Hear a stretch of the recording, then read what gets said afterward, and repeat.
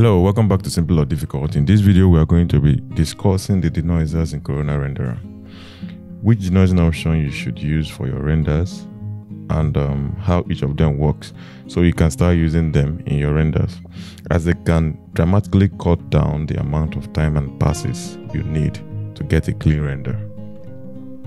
So to turn on the denoiser in your 3ds Max, simply head over to the render settings, okay, and then go over to scene.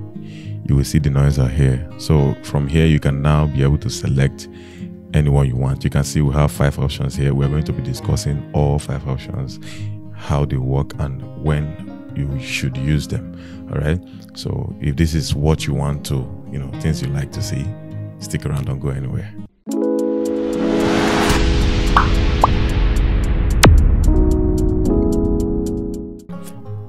only firefly removal this is recommended when you don't want to denoise your entire render but then you have fireflies in your renders you want to remove okay so what are fireflies even these are very bright pixels in your image. This can occur when a really intense light reflects off of a very reflective surface in your render. Okay, what Corona does with this denoiser, this only firefly removal denoiser, is mix the very bright pixel with the ones surrounding it that are not so bright. Okay, all right. So this denoiser kicks in only when the render is complete, and it happens very fast. You'll notice we still have noise in this render, but then to see what the Firefly does, you can turn the denoise amount all the way up and then toggle it on and off.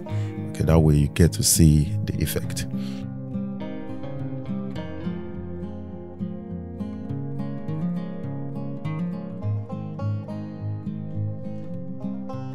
All right, so let's go ahead to the next one. The next one is the NVIDIA GPU AI okay this is very useful for fast noise-free preview during rendering okay this denoising process uses your nvidia graphics card artificial intelligence to determine how your image would look like without noise okay talk about the biased rendering qualities of corona and all what's not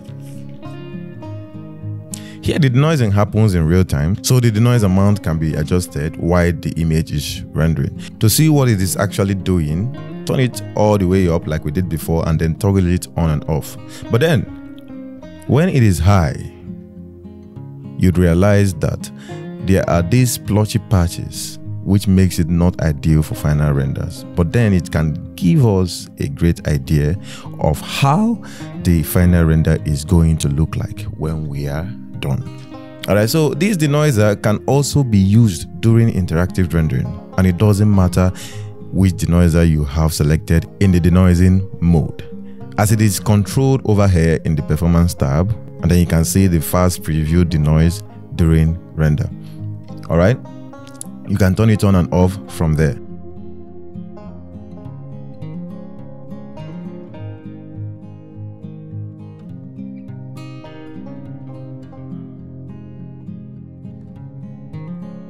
But then on the downside, when it is on, you can't edit the amount in the frame buffer. Like as the interactive render is going on, you can actually adjust it, you know, there in the frame buffer.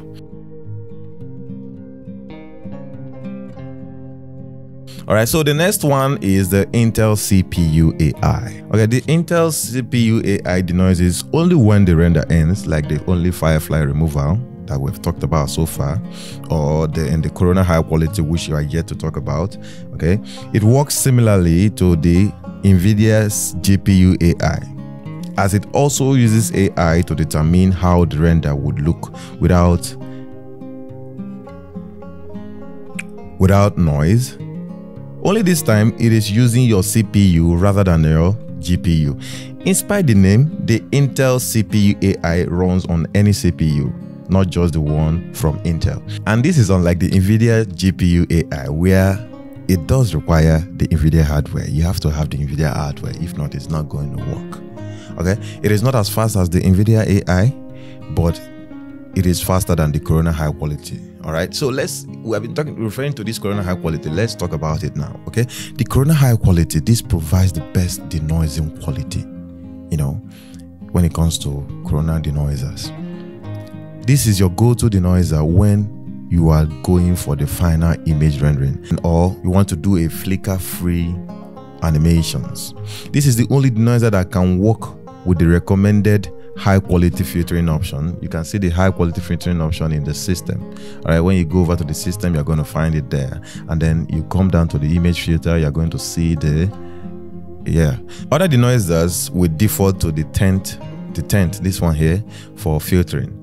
Okay. When you select the Corona high quality, you can now access the radius as well as the amount. And the radius controls the size of the blurring effect. Lowering it can strengthen details in your render, but it will also lower the denoising effect. Unlike the amount, these settings cannot be changed after the image is rendered. Now here's my opinion.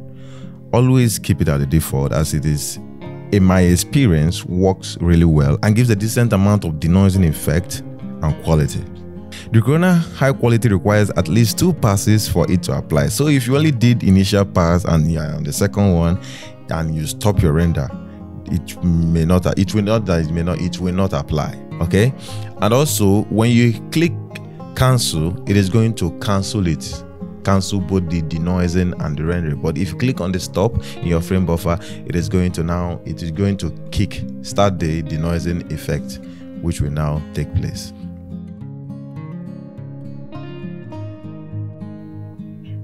And as usual, to see the effect, take it to the highest, you will see a completely denoised image, but at the expense of detail. All right, you can toggle off and on the effect to see what it has done for you.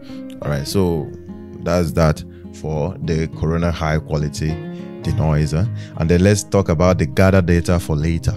As the name suggests, this allows you to process the denoising in Corona Image Editor by, by gathering some certain information during the render. So using the gather data for later will save you some memory used during the render. Okay, this is useful when you are running out of memory in a scene with lots of render element that needs denoising. Okay, here you save out the file a bit differently. You save it as CXR okay? How you do that is you click on the save button and then you hold it and then you slide down to the cxr and then this dialog box comes out. You name it and you put it in the folder where you want it to be in your system or your your workstation and then you save it. Then in the corona image editor open that cs that same cxr file that you just saved now. Open it and then you can now denoise the image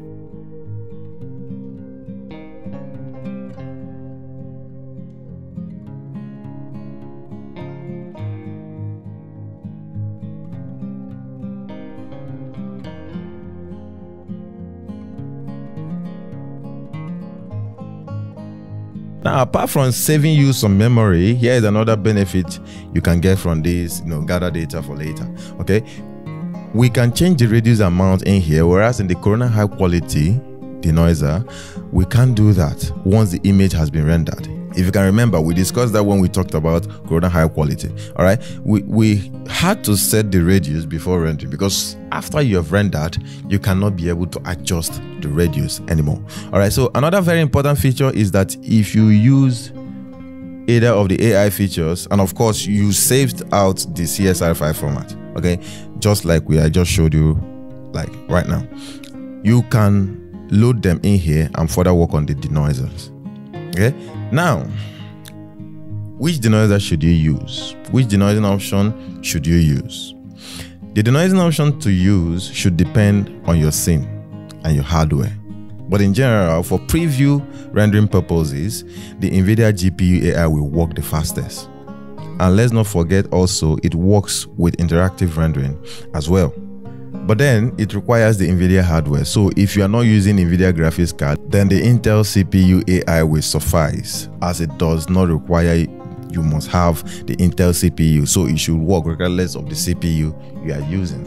But when rendering final images, Corona High Quality gives us the best render quality. And I recommend you use this one, this Corona High Quality Denoiser. I only recommend you use it most of the time. Okay, then gather data for later allows you to save some memories while rendering and be able to edit the denoising later in the Corona image editor. Okay, and then you can also tweak the radius, which you cannot do using the Corona high quality. Now, let's not forget the only Firefly remover, which, as the name suggests, removes Firefly from your images. All right, so that's it for this video. I hope you enjoyed it. If you did, please give us a like. And if you're new to this channel, this is the first video you're watching on this channel, please consider subscribing. Not only subscribing, ring the notification bell so you don't miss any of our future contents. All right.